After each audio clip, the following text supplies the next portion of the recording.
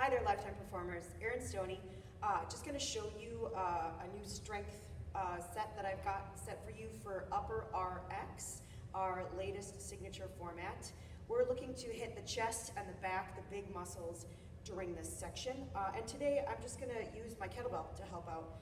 Um, I'm actually going to bring the first one down to the ground to isolate a little bit more and keep the legs out of it completely and totally. Just gonna start with 30 seconds of upright row, focusing on the upper back. So rolling the elbows back slightly at the top and squeezing the shoulder blades together at the top. So 30 seconds here. Obviously the core has to be nice and tight in order to stabilize that movement and keep it from swinging.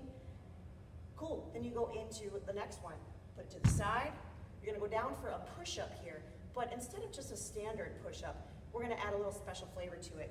We're gonna stagger it and we're gonna alternate it. So for 30 seconds, we'll just come down, then switch and switch, and have them pay attention to how it changes, the way the movement feels in the chest muscles and the arm muscles. So that's 30 seconds there, okay? Then we're gonna bring it on up to the feet. They can just stay right on their mat.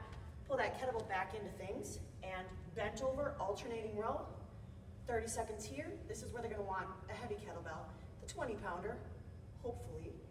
30 seconds there, and there you have it, strength section.